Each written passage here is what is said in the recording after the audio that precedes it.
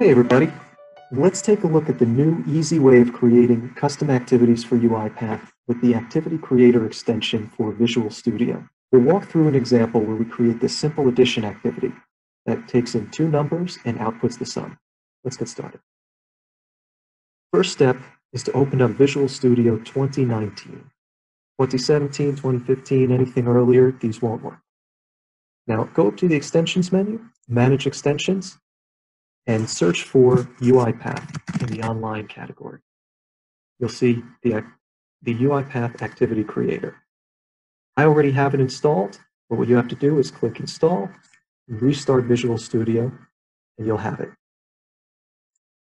Now, once you have the extension installed, creating a new activity project is as easy as going up to File, New, Project. In the search bar, again, look for UiPath. And here's our standard activity project. Click Next, give it a name. I'm going to name my, company dot my product. This is the standard naming convention for UiPath activities. Some name of your company, dot, and then whatever product you're going to be wrapping in this UiPath activity. Once you put the name in, no need to change these other fields, just hit create, and it's going to spit out the foundation of an activity package. So we'll give it a second there. And once it's done, you can head up to your Solution Explorer and see what was generated. Now at the bottom here is a shared folder. These are a bunch of support files, designer controls, things that we use internally at UiPath and thought would be useful for you as well. Don't forget about that for now. Now, the rest and the crux of an activity package are these three projects here.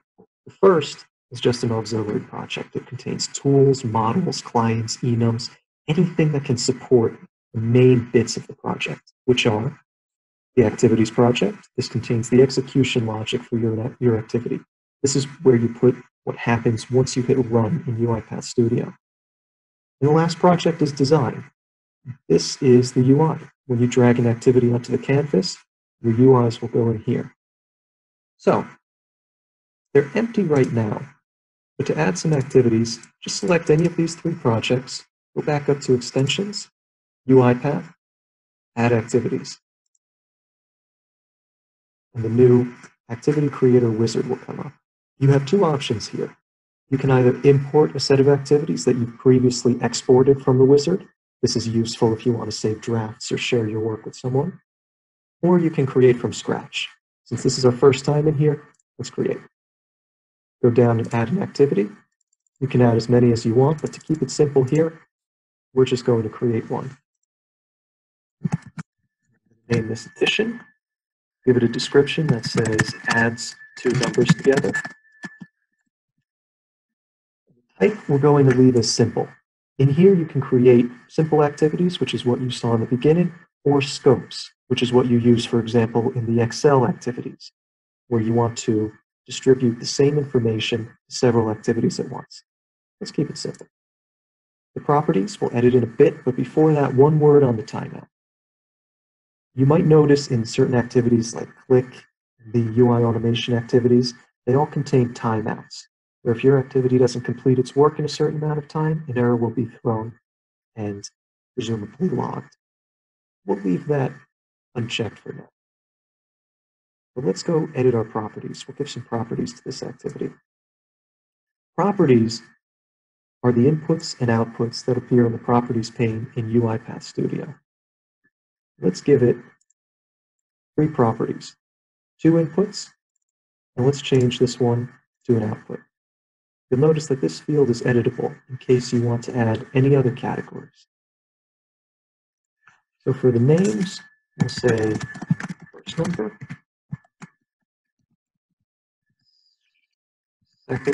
number, and the sum, because we're going to be adding these two together. We'll add some generic descriptions. All right. And then we'll tell the creator, are these input variables or output variables? The first two are going to be inputs, and the last one will be out. You might be thinking, didn't we do that in the first column here? Sort of. This first category column is just the category in which these inputs and outputs appear in the properties pane. These are the actual nature of the variables. So I could change this to something like common category and still put an output in there. We'll leave it as output so it makes some sense. Now, the next column is the type of the variable. Since these are going to be numbers, let's change them all to integers. But just note that if you wanted to, you could browse for types just as you do in the variables section of UiPath Studio. And you can read any type of variable that you like. For now, though, we'll keep it simple. The last column determines if these inputs are required or not. We're going to make the inputs required and the output no. Now, there are two effects to doing this. The first is that if the user of your activity does not provide these inputs, then a validation error will be thrown. The workflow will not run until these properties have been filled in. The second bonus is that all required properties get added to the designer of the activity. So you don't have to worry about adding text fields. These will be sent automatically. Okay, we have our properties. Let's click Finish. And watch what happens over here in the Solution Explorer. You'll notice that two files were created. One, Addition in the Activities project, and another, Addition Designer in the Design project. Let's take a look at Addition first. So here we have an activity created with the name we provided it. And you'll notice that it has display name and a description. These are completely localized, and they are the descriptions that we provided. I'll just jump into here so you can confirm. Here we have our addition description, and it's that description I added for the activity. It adds two numbers together. The one nice thing about the activity creator is that it localizes every string that you put in there. You're still responsible for the translation, but there's no overhead to set up localization. Let's take a look at our properties. First one is a default, continue on error. This is something you might have seen before in the standard UiPath activities, where if your activity throws an error, but you want it to be ignored and keep going with the workflow, continue on error takes care of that. It defaults to false though, so you don't have to worry about it if you don't want. And then after that, we have our three properties. First number, second number, sum. You'll notice that the first two are in the input category, the last is in the output. First two are in arguments, Last one's an out argument. And all are of type int. Let's keep going. The constructor is blank, but if you wanted to add default values to your inputs, you could set them in here. Cache metadata, this is just another way of saying run this stuff at design time. And what we're choosing to run are validations. So you remember that I selected required on both of our inputs, first number, second number. And we've automatically generated the validations for these, where if they are null, meaning they're not provided, a validation error will be thrown.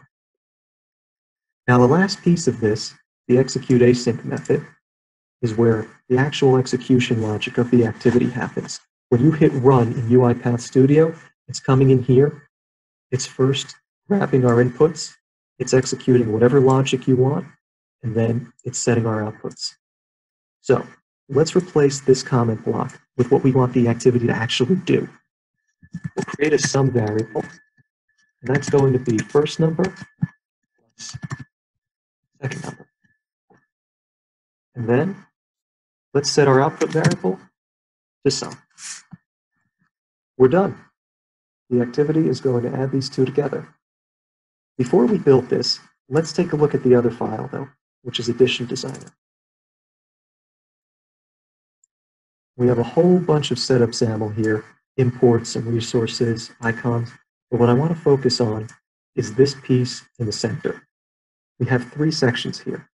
First, we've created a grid with four rows in it. All of them have dynamically sizing heights.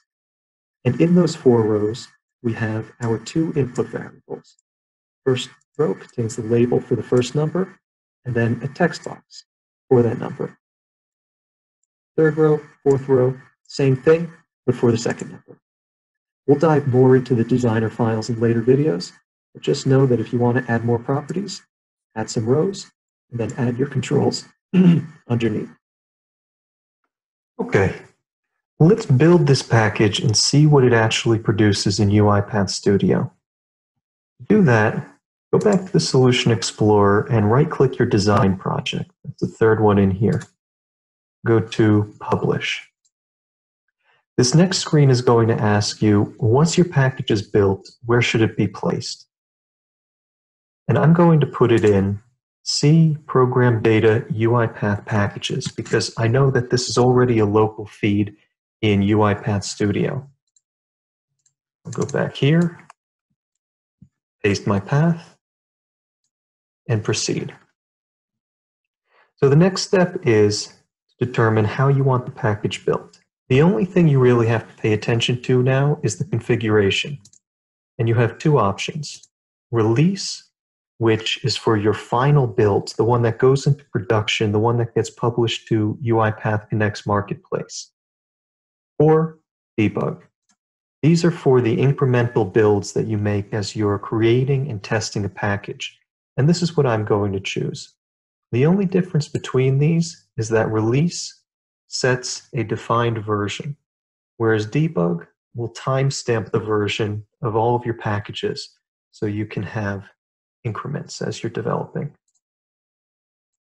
So let's select debug, hit publish, it'll start building our package. Okay. You can see at the bottom here that all three of our projects succeeded and one NuGet package has been published to the location that we specified. C program data UiPath packages. Then let's open up UiPath Studio and see what it actually looks like. Go to packages and you'll see it created my company, my product, activities. Install, save, And here we go. Go over to the activities pane and you'll see my company is now in here. In a subcategory, my product, and here's our addition activity. Let's add it in. Nice. So you'll notice the designer is just as we went through. First number, second number are required inputs. They have the descriptions that we put in right there in the designer. And you'll notice that there are validation warnings. Please provide a value for first number and second number. So let's do that. Get rid of those warnings. Five. You'll notice that when I enter this number five here, it appears up here in the properties pane as well. They're bound together. To show you the reverse, let's add the second number up here. There we go, five and 10. And notice that our first two numbers are in the input category and our sum is in the output category, just as we specified in the builder. So for the output, I'm going to create a variable called sum.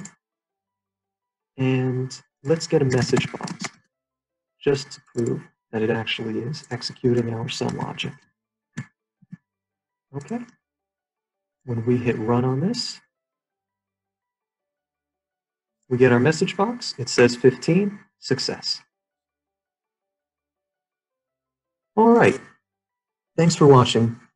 We'll have a few more videos on creating more complex activities and setting package metadata. But for now, enjoy the UiPath Activity Creator.